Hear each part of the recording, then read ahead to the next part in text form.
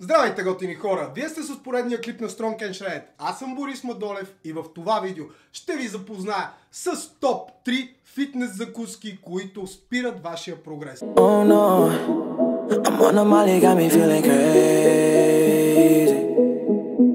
I've been had to move. Защо ги наричам топ 3? Ами защото днес реших да си направя едно много бързо и кратко проучване.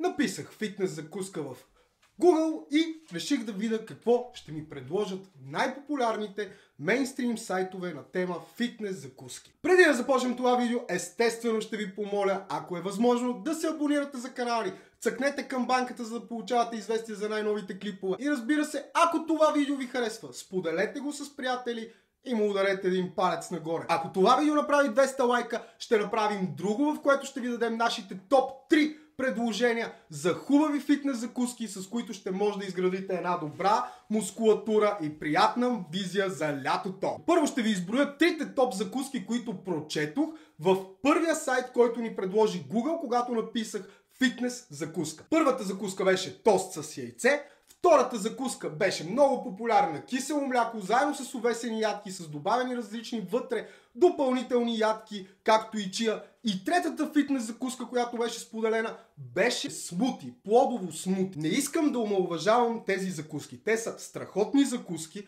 и могат да ви донесат много добро съотношение на витамини от тях. Но дали всъщност ви носят мускулна маса? А именно не, защото съдържанието на протеин в тези три закуски беше изключително ниско. Въпреки, че се промотират от различни фитнес звезди, въпреки, че може да ги намерите в най-популярните сайтове за фитнес, те реално няма да ви помогнат да изградите така желаната мускулна маса. Защо няма да ви помогнат? Точно заради ниското съдържание на протеин в тях. Какво имаме в киселото мляко? В 100 или 200 грама, да кажем, че си го направите с 200 грама кисело мляко, заедно с увесените ядки вътре, с допълнителните вътре добавени още ядки или плодове, може би ще имате около 10-12 грама протеин. Но това е изключително ниско съдържание на протеин във вашата закуска за старт на деня. Колкото по-голямо съдържание на протеин имаме за старт на деня, говоря над 20-25 грама плюс, толкова по-добре вашето тяло ще започне да отделя един невротрансмитър, който се нарича орексин. Между другото, невротрансмитерите и хормоните са много близки и се припокриват до някаква степен, но все пак има някаква съществена разлика между тях. Невротрансмитъра орексин много добре спомага за това нашето тяло, след като е било в процес на сън за 6 или 7 часа, да се разбуди бързо, да започнем да сме много по-енергични, да, се, да дадем един много по-добър старт на деня. Това, между другото, ще ви помогне, освен от фитнес гледна точка, ще ви помогне и много да може да сте по-енергични и да може да изпълнявате по-добре вашите задължения, които така или иначе имате да свършите през целия си ден. В третата закуска, която беше плодово смути с различни продукти, които са наистина богати на микроелементи, отново липсва протеин. Между другото, сега ще ви кажа и откъде идват митовете, че тези закуски са добри. Те идват основно от фитнес състезатели, т.е.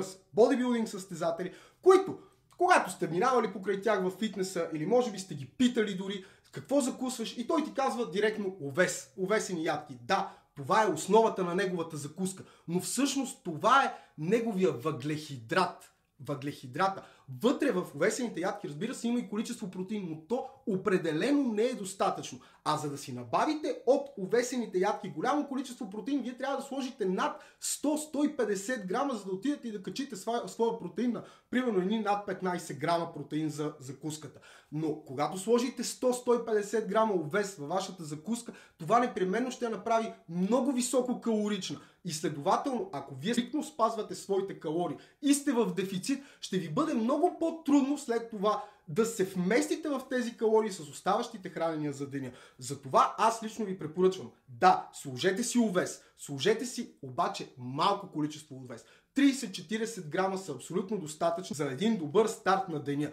Добавете една лъжичка протеин на прах и автоматично вашата закуска вече от просто мляко с овесени ядки ще добие съвсем, съвсем друг вид. Защото протеинът ще качи съдържанието на макронутриента протеин в закуската и така вие ще може да стартирате деня с едно стабилно количество, което да създаде във вашето тяло предразполагането за един добър мускулно-протеинов синтез. Съответно ще отделите този невротрансмитер урексин, за да може и вашето тяло да се събуди и да бъде по-енергично за оставащите задачи. Бързо обобщение как можем да променим съотношението на протеин с тези топ 3 фитнес закуски. Какво е решението? Вместо едно яйце, добавете две-три яйца към закуската си. А ако а, не може да си позволите много високо съдържание на мазнини, тъй като от яйцето идват доста мазнинки, тогава ви предлагам да си чукнете за омлет едно или две яйца и да добавите допълнително, продава се на пазара, може да го намерите във всеки по-голям хипермаркет, течни белтъци.